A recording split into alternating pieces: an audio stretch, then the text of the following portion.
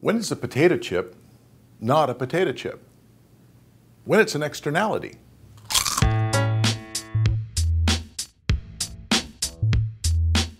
An externality is when a transaction between two people, call them Art and Betty, has an effect on a third person, Carl, without Carl's permission. Suppose Art sells Betty some potato chips. Now, Betty really likes potato chips. She opens the bag, she's looking forward to eating the chips. As she eats them, she makes yum, yum, yum sounds. Just look at her, she loves it. But no matter how loud she is, there is no externality unless someone, like Carl, is there to hear her. Obviously, Art benefits from selling the product, and Betty benefits from buying the product, since this exchange was voluntary.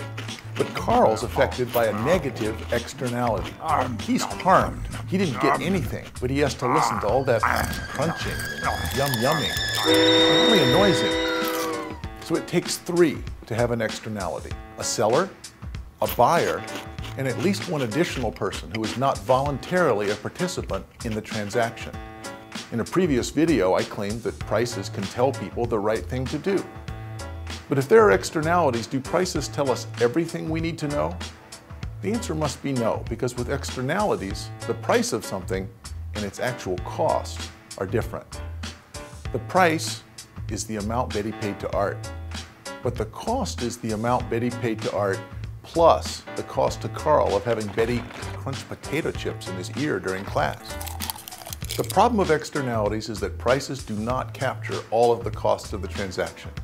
Instead, some of the costs are borne by people who never gave their permission. It seems like the solution would be to try to adjust price so that it coincides with the total cost. For many people, that means fix it with taxes. In other words, impose a tax equal to the difference between the market price and the true cost to force the buyer and the seller to bear the full cost of their transaction. This is what economists call internalizing the cost. We may not need to resort to government action, of course. One way we solve externality problems is called manners. If Carl tells Betty her crunching is bothering him, she'll probably apologize and stop.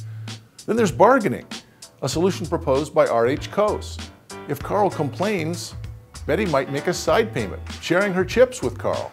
Once Carl's crunching too, there are no externalities, only chips.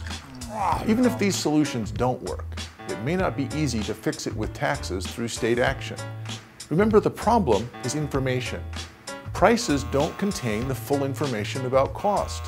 But where can accurate information be obtained? How can the state be expected to acquire more accurate information and then act on it effectively? The most interesting answer to these questions came from the original scholar to propose fixing it with taxes, A.C. Pigou. Pigou was a really smart guy and understood that guessing at the correct tax would be very difficult. Back in 1920, Pigou said, it is not sufficient to contrast the imperfect adjustments of unfettered enterprise with the best adjustment that economists in their studies can imagine for we cannot expect that any state authority will attain, or even wholeheartedly seek, that ideal.